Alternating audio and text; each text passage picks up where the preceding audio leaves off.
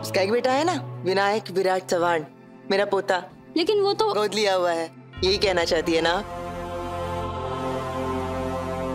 हाँ हमने विनायक को गोद लिया है लेकिन पत्र लेखा ने उसे सगी माँ से भी ज़्यादा प्यार दिया है। ये तो बहुत अच्छी बात है पर अपने बच्चे और गोद लिए बच्चे में फ़र्क है ना? अपना बच्चा आखिर अपना ही होता है। शांत रावण भगवान कृष्ण को भी तो यशोदा नंदन कहते हैं।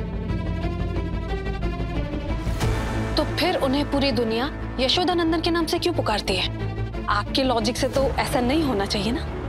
अगर आपकी माने तो भगवान श्री कृष्ण यशोदा मैया के बेटे कभी थे ही नहीं। यशोदा मैया ने भगवान श्री कृष्ण को पाला पोसा, उन्हें ममता दिखाई, उन्हें करुणा दिखाई ना? उसी तरह से मैं भी मेरे बेटे विनु का ख्याल रखती हूँ।